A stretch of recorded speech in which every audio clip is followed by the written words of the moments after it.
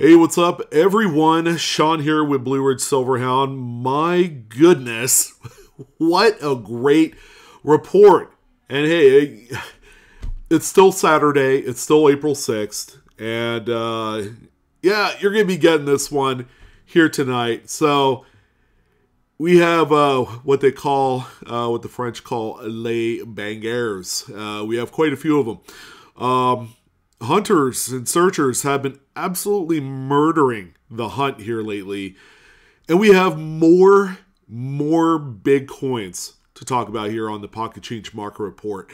Uh, so if you're out there, you're at the club, you know, you might as well step out for half an hour and, you know, check things out on the report because, you know, this, uh, this is a uh, must see TV, I guess. Um, or if you're watching WrestleMania, hit the pause button and then, you know, come check things out on Blues uh, video. Uh, but all things considering, okay, we're going to take a look at some of these wild finds that folks like you and I have discovered out there. Um, all raw, ungraded, uh, unsolicited. Uh, you know, it's all on here, baby. And, um, you know, um, like I said before, we don't talk about graded coins. You know, the errors and varieties out there certainly speak for themselves. Not to mention some of the non errors and varieties that you can also find out there, which are also really good too. Those key dates, some really nice type coins, you know, they, they can find and make their way onto the list as well. Um, so rest assured, uh, we're going to be looking at everything within the last 24 to 36 hours, right straight from eBay if you have the ability to take a few photos and um, you know this is key. A lot of people don't realize you have to type the right information in your listing title so that way it figures into the ebay algorithms. Because if it's not there you're not using the correct key keywords you're not correctly attributing or diagnosing your variety or error it's not going to work out too good. So make sure you polish up on that. You do some research beforehand before you take part in the resale of said coins, then you're going to end up doing okay at the end. Um, so no graded coins. Uh, another thing to keep in mind, all of the original photos that you're going to see here today are 100% original to the seller's listings. We didn't juice or doctor or do anything funny or um, extraordinary to make these video these photos look better than what they actually are. You're gonna get the best and the worst that eBay has to offer. You know, and the good news, good news to each and every single one of you, that bar is set pretty damn low. So you know, if um, if you know how to operate a smartphone, you know how to work around your camera there, and make sure you keep that lens clean that seems to be one of the things that you know trips up a lot of people. Why do I have constantly out of focus fo- photos? Well, it might be that big old greasy fingerprint on the lens. You'd be surprised how much of an impact that would make. Um, so as we go on here, I have a pretty big announcement uh, that I wanted to share with you guys. Okay, whatnot for the month of April on Blue Ridge Silverhounds channel is going to be absolutely huge. I have acquired today three GSA Carson City Morgan dollars that we are going to be giving away at the end of the month. Um, and how do we get in? All right, it's real simple. Just come to my show. I do two auctions every week. I do a big bargain show on Tuesdays, I do a relatively decent bargain show on Fridays as well and just buy something. You just need one entry for every item that you buy in the month of April. You will receive one entry. Um, today's the sixth day of the month. Okay, we have a whole other 24 days left over, which which means we we have probably another seven or eight shows between now and the end of the month to take part in uh, the GSA Carson City giveaways. It's only for buyers. All right, so we're going to do a randomizer at the very end of the month uh, with all the entries. Uh, we we even already have a couple people with 30, 40 entries for the April buyer giveaway coming up at the end of the month. So if you're brand new, you want to check things out, you want to add a couple neat coins for a relatively low price, come check me out. My referral link is down below in the description box. You will receive $15 in store credit to use right away. that's good for like two, three, four entries, you know, because we do sell coins for two, three, four dollars. So, uh, yeah, that was funny. Um, but you know, if you wanted to take part, you know, we have the three GSAs, and then we're gonna also throw in a few other coins. At the very least, there's gonna be five or six giveaways at the very end of the month. Uh, two shows guaranteed, so come check us out. Thank you to everyone else for all the views and support. And let's go ahead and rock this out. April is going to be a month to remember, and I'm looking forward to delivering the goods and giving away some pretty pricey gift items here in these Carson City Morgans. All right, let's go ahead and check things out here uh, on eBay. Starting out with a 1946 Lincoln Wheat Cent. This one right here, and uh, it's funny because someone on my last video said, "Can you just stop talking about CUD die breaks?" And my thought is, no, I, I'm not going to stop talking about it because if everybody's selling it and they're selling for good money, then you guys certainly need to know about it. If it doesn't get talked about at all, people tend to forget or they're going to believe that the market has dropped off significant, significantly. Well, I'm here to tell you it hasn't. It's never been stronger. As a matter of fact, this week we have a couple more coins that kind of uh, uh built a foundation for the PCMR for this particular episode over the weekend. So the CUD you see is actually on the reverse this time. that goes into that wheat stalk. You can see it there between 3 and 4 o'clock. A piece of the die had cracked and fallen off okay, thereby creating this empty channel on the die.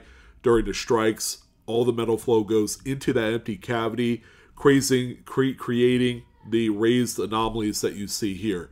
Uh, this particular coin ended up selling for $37.99. Um, I even had someone say, Well, I've looked at hundreds, if not thousands, of Lincoln cents and nickels and things. I've never found one of these. Um, you know, are we just looking at the front of the coin? And I'm telling you, no, you are not just looking at the front of the coin. There are a lot of cuds that also exist on the reverse as well. So make sure you're looking at that. Um, and, you know, leave no stone unturned. If you're going to do roll hunts, make sure you're a completionist. You go, you you check out the reverse and the obverse of every single coin. Heck, check the edge if you must. You know, there are color collar cuds on the edge as well that exist. Um, because you know at the end of the day we're here to cash in if you're going to put into work and the, the man hours to do it at least be complete all right so enough about that. Let's go ahead and get into the next one here. Um, so this particular seller does did not have full obverse and reverse photos okay? I'm telling you if you're going to be selling on the platform take at least one good photo. If it's going to be a stock photo and you're going to be selling a lot of these coins still do that. Take a good full front and reverse of the coin, along with any close ups that may be applicable to the sale. So, this one right here is a 2009 P. It's a Philadelphia minted uh, formative years Lincoln cent. So, they did these four different reverses in 2009. This is the one that has Lincoln sitting on the log reading a book. All right. So, there's been a lot of these that have come up with double the die reverses. Uh, most most notable, the doubled fingers and thumbs and things like that. This one you could see right there. There's an extra what looks to be a spiky thumb. Uh, this is actually the FS803. It's WDDR number one. Uh, it's actually quite a strong one. Uh, not saying that you could find this with a naked eye, but you could come pretty close. Um, so there's been quite a few of these that have been discovered. This is one of the bigger ones here. Um, now, these are also quite common, and that has kept prices uh, pretty pretty low on them. You know, to where you're not going to you know be a millionaire if you found a whole bunch of these. Like this particular one, uh, I would suspect is in really nice BU condition. That's brilliant uncirculated, and it's still sold for seven dollars and eleven cents. So again, uh, this is not a coin you should be grading by any means, along with 95% of the other coins we're talking about today. But Always check the reverse of your LP2s and LP1s, which is the log cabin. There's quite a few different double to dies, and uh, there are buyers for these type of coins. Uh, we have a 1980D Lincoln Memorial Cent. This is a double struck example, albeit the secondary strike is about 95% off center. So, you know, it's it's really wildly off center. Um, you don't see much in the way of design details, uh, which kind of uh, keeps the intrigue, the allure, the desirability to own such a coin, you know, rel- relatively low. Uh, like this one here managed to squeak out $23.99. Um, the In God We Trust on the bottom left, that little graphic is actually the seller of these coins. So I just wanted to go ahead and mention uh, their name on here. In God We Trust. Pretty cool. Uh, the living motto on every single coin is now a seller.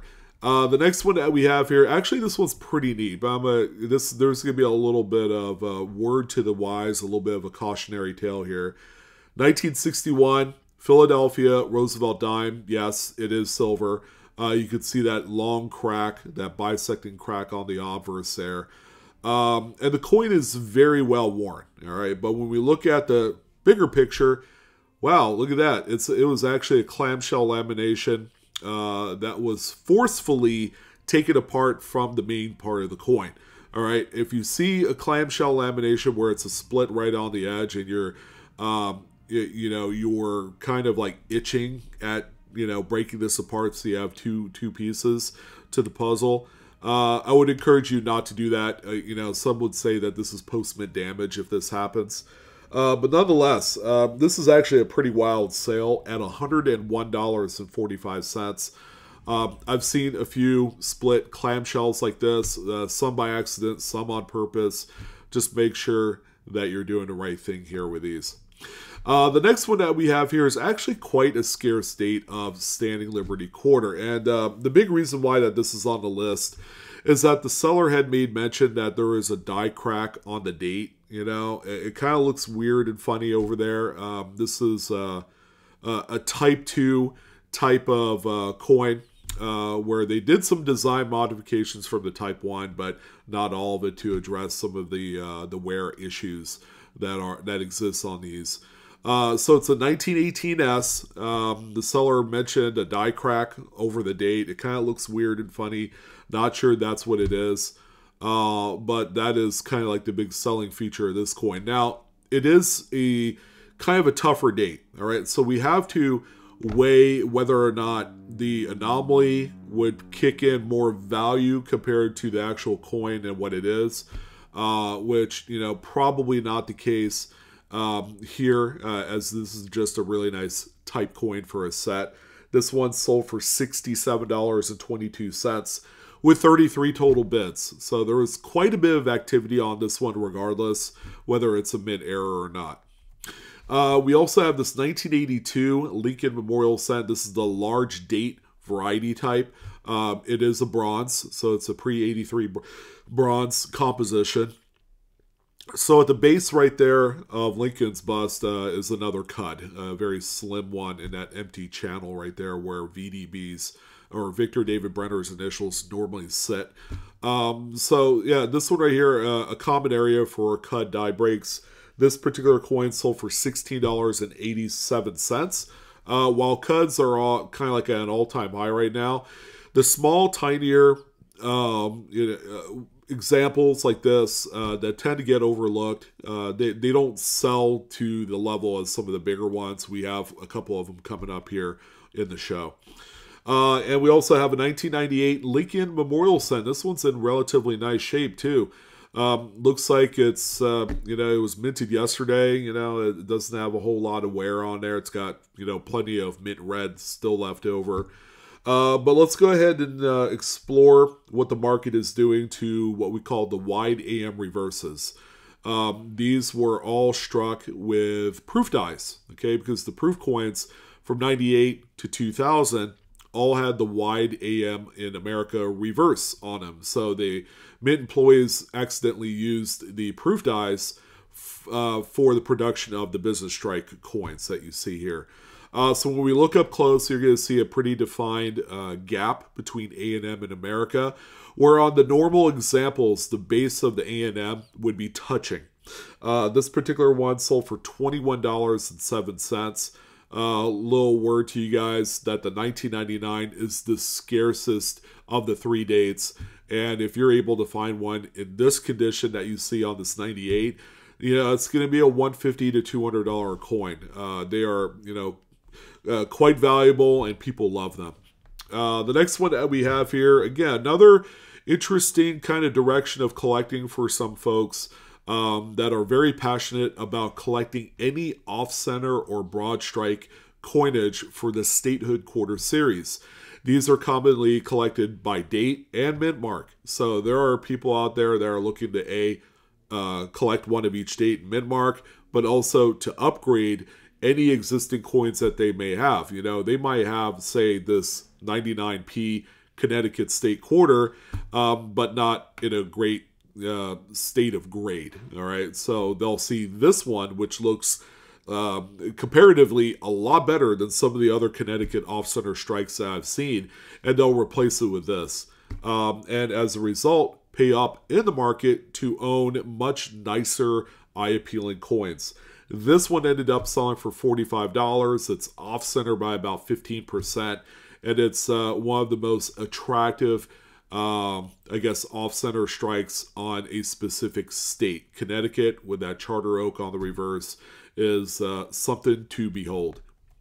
Uh, we also had a couple of uh, these 1960 Denver Lincoln cents, a couple big varieties. Here's the RPM number one on a uh, relatively minty red example. When we look at the date there and the mid mark, you can see double D's. All right, so um, for those of you guys that aren't, aren't aware, prior to 1990, mint employees were still hand punching the mint marks into the working dies which left a lot of room for general human error. Um, you know, God bless them uh, for for multi striking a lot of these RPMs. It's made coins of the last, you know, prior to 1990. You know, maybe the 60 years before that, a whole lot more interesting. Uh, this particular example sold for $17.74 with nine bids. And of course, we can't forget that there is also the big dog variety, the small over large date, and repunch, repunchment mark dual variety combo. And you're seeing one in living color right here. Again, this is a very nice example. Uh, when we look up close here, you can actually see uh, the, the most notable part when I'm trying to discern if whether or not I have a small over large date variety, which is a double to die, or just a regular one with some wear check out that zero. You can actually see the small zero of a small date over the large zero. You know, and that's kind of like one of your telltale signs there. Uh, it's also an RPM. Uh, you can see, you know, what looks to be remnants of a secondary Denver mint mark punched north of the primary. It actually kind of touches the bottom kind of curl of the nine as well. Uh, this one sold for $71.26, and that's with six total bids. Um, this is one of the biggest varieties uh, to find in the 1960s era of Lincoln cents. Uh, this one right here, quite minor, but I'm willing to bet that the person looking for this one probably was looking for those 90% and 40% silver half dollars. You know, uh, just an avid roll hunter of half dollars. And uh, let's not forget that there are varieties plenty of them. A lot of double to dies within the Kennedy um, half series. But also mint errors can be found too. A lot of strike throughs, a lot of clash dies. This one, we don't even know what the last date of the uh, the digit of the date is because there was a pretty big strike through there. You know, probably some grease, some dirt, some metal shavings, things like that, all clumped up in a ball that was sitting on the die prior to the strike. So this one right here, a 1970 something, sold for $29.36. Last time I checked, that is roughly three times the value of what a 90% silver half dollar is. So if you're overlooking things like this because all all that's on your uh, your agenda is to look for silver, you're going to fail miserably because sometimes it's not all about the silver. You could easily sell this and buy three 50 uh, or uh, 90% silver half dollars at the end of the day to add to your stack if that's your motivation. Uh, we have a 1954 D Jefferson nickel, a nice early date with a pretty substantial curved clip right there. So uh, pretty nice. Uh, you do have a little bit of Blakesley effect on the reverse side of the coin, which is a little bit noticeable. This one right here sold for $16.50. Clips tend to be on the lower end of the totem pole for mint errors, but this coin kind of gives you guys a little bit insight of what one might sell for if it did if you had one in the open market. And we also have a 1966 Roosevelt dime clip as well. Uh, again, you know, I've found quite a few of these over the years. Uh, and they're always a welcome find. You know, back then they used to be, you know, a buck or two. Uh, up until, you know, since the beginning of the pandemic, which we are no longer in, by the way. Um, you know, these things have uh, appreciated in value, you know, a, a good, healthy margin. Uh, like this one here sold for $17.99. And I tell you what, ladies and, ladies and gentlemen, I would trade this for $17 every day of the week um, because I was selling these for about $2 back five years ago. The, another uh, was 1982 large date bronze Lincoln Memorial cent. Uh, this one was has a 18% indent. All right, so the indent occurs when there are two planchets overlapping in the striking chamber. So one of the things that obviously happens here is that the collar probably has malfunctioned at this point because it's not completely engaged. Uh, the collar is what keeps one singular coin in the striking chamber during that action. So if it's not there, it's a cause all sorts of things like out of collar, um, off center strikes, broad strikes, things like this. Um, this one right here ended up selling for $46.45, uh, which is always a great amount of money for an indent um, with no discernible brockage or anything like that. Uh, we also have this one here. Uh, you know, if we remember, you know, just a few short years ago, there were a number of pretty big mint errors that included retained cuds and die breaks and all sorts of things, not only on the 2021 Philadelphia Lincoln cent that you see here, but also on like the Wilma Mankiller quarter and a few others uh, that are quite notable. So here we are, three years removed from this beast, and uh, you know everybody had fun looking for these. Uh, at one time, you know they sold for two to three hundred dollars a pop. Uh, you know, are they still selling for that today? Uh, maybe higher end uncirculated pieces. This particular one looks like it's been around the block a few times. It's got a few spots on the coin as well, so it's not the most beautiful example that I've encountered. Uh, this coin sold for $129.36 with four total bids on this one. So again, not worth zero, still carries quite a bit of value. If you come across these, do not toss them out. you'd be throwing away $100 plus if you did. Uh, we also have this one. This is a beautiful one. It's uh, an undated Lincoln Memorial cent. Uh, looks to be a copper coated zinc planchet uh, composition, so post 1982. Uh, but this one was struck uh, through a kind of like mid stage cap die um, because there is a little bit of brockage on there. You can see the brockage of the Lincoln Memorial um, that was on that um, that capped die um, that that had translated into what you see here. Um, so again, this is pretty nice. You have a fully struck reverse, and then you have that soft mushy obverse there. The coin sold for fifty-two dollars and forty-five cents. It was a quick little buy it now strike. Uh, I believe it was like forty-nine ninety-nine plus shipping.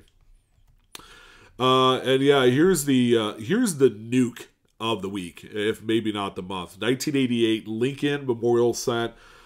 So, Cuds, man, uh, we gotta talk about it because you know if they're front and center in a lot of people's minds, people have them, they're selling it, and they're making a pretty big killing off of them. Like this one here, the Cud is on the reverse. Okay, it's one of the bigger Cuds I've ever seen on the reverse of a coin. All right, and there aren't too many of them, and the ones that do exist to this day they have huge values from one to five hundred dollars. Okay, so this one right here, add this one to that list. Um, you know, and you have the fair amount of weakness on the obverse where that cud is on the other side of the coin. So this one, I'm happy to announce that it did sell for $154, whereas if that size cud was on the obverse, it probably would sell for half that. Uh, so again, it's all about perspective. This one here is uh, kind of a rarity. We don't see this particular cud on the marketplace maybe once, twice a year if you're lucky. and that's how scarce this one is. Uh, neat one here 2006 Denver, South Dakota State Quarter with double clips. It's got two clips and then all the Blakesley effect that you need uh, to make this thing shake and quake in your hand. Uh, pretty cool. Now, you know, clips are, a, again, a minor, very common uh, mint error that can be found out there in the wild today. Uh, but on something like this, $34.95 was the sale for a double clipped statehood quarter. Again, it's the statehood quarter series that really makes this thing, uh, you know, just perform at a whole different level. So if you got them, save them, and uh, you know, be sure to sell them, you know, while the market is high. What the heck happened here? So you know, at first, at first, I thought, okay, well, this coin is not really an error. This thing, this thing was just ground down to death. Um, it's a 1968D Kennedy half dollar. excuse me. Um, and it's a ragged clip actually, and it took a while for me to you know just just to really kind of like look at it. I looked at the the rims. The rims were very irregular, you know, um, uh, on this one, and uh, you know when you look at actually the edge as well, uh, you could see that. Uh, that it has kind of like that granular granite pattern, you know, like uh, you know, it, it wasn't ground down uh, by hand, but it was you know just a, uh, a defective planchet that split at one point. Uh, kind of similar to the uh, uh, the Northern Nevada coin um, company uh, in Reno. The owner actually has a Carson City Morgan dollar. they call it the Broken CC, which is a defective planchet that looks exactly like this. Although in his case, he has both pieces. This person only has one side of it. Um, so this one did sell for $84 with 15 bids. I just thought it was a pretty interesting, uh, you know, kind of conversation piece for tonight's show. Um, you know, again, heat caution. A lot of these are generally damaged. This one looks to be legit. Uh, even though this particular image isn't the highest, crispest quality type, you know, it's got a little bit of, uh, you know, out of focusness to it. Um, I, I, think I'm still bought in by the fact that this one is a legitimate mid error. Uh, we also have this one here too. Uh, if it wasn't for the fact that it has what we call the ring of death on the obverse, that's where uh, um, that's what they call roller damage uh, as a result of the crimping on one end with the uh, the roll paper machine. Um, this one, this one coin here was at one point the end roll piece to a full roll. Um, so the little thumb that usually crimps that end in had made contact to the face of the coin. But instead, uh, we, we're just going to kind of like close one eye and then just focus on the reverse because this is the Wounded Eagle Reverse Sacagawea dollar. Uh, only found on the 2000 Philadelphia P Mint uh, examples. Uh, so this this one uh, still a great chase. It's the FS901 in the uh, Cherry Picker's Guide. You can see the uh, the dual die gouges there, right on the uh, the breast feathers and wing area, which are raised on the coin, so you can actually feel it on the coin. I own a few examples of this one, and you know, make no mistake about it, it's very discernible. Uh, this one sold for $99.99. Again, that's with the damage on the obverse. Uh, there are other examples I've seen without that. Um, so, you know, if you're looking to buy, you know, just kind of hold tight. There's quite a few of these. They're common, but boy, they are valuable. Uh, they have a lot of value. Uh, we do have a couple lots uh, to kind of close things out here on the PCMR. We have the lot of four various uh, off center strikes and broad strikes, a 1990 Lincoln cent, uh, which looks to be more off center, a 2000D Jefferson nickel that's off center by about 55%, an undated Roosevelt dime that's off center again about 55%, and then a broad struck 1985p Washington quarter. All right, so we talk about bulk lots as a way of uh, you know kind of enhancing our reselling experience right we buy these for a bulk price, quote unquote, and then uh, turn around and sell each coin individually. The idea here is we're trying to double our money. Uh, when someone sells in bulk, they're willing to take a discount by selling it as a group. Uh, so this one here sold for $56.24 with 12 bids. Um, it's not the best lot to buy if you're trying to double your money. I don't think that doubling is uh, even within possibility. You might be able, you know, to, um, you know, grab a hold of like maybe a 20 to 25% profit margin if you sold each one individually. Uh, but, you know, that's not a whole lot. You know, I'd probably focus on other lots like this one right here. Wow. Uh, this is a lot of seven broad struck or off center Washington quarters, and they're all drop dead gorgeous. Each and every single coin uncirculated. There's uh, five 1980 Philadelphia quarters, there's one 79p quarter, and 95p Washington as well. Um, so the seven coins together sold for $77.85 with three bids. Um, based off of the knowledge that I've gained uh, over the years with these is that they tend to sell for between twenty and thirty dollars in this condition. Um, so this is uh, a prototypical lot that you would buy just to flip. All right. Uh, and th- plenty of opportunity here with this one, and uh, whoever got this one either added a really nice collection to their uh, or a really nice set to their collection, or they had found, uh, you know, the goose that laid multiple golden eggs, you know, that'll allow you to resell these for a pretty good profit. Uh, and then the last coin tonight, uh, of course, we cannot forget, uh, you know, rest in peace to the Mamba Bat that ended up with the big strike through on its face the, these still are remarkable. And, you know, they got up to as high as 1,000, 1,500. There are actually pristine graded examples that are still uh, out in the marketplace and available for that kind of money. Um, but if you're going to find one in change today, and these these are out there, there's quite a few of these in circulation.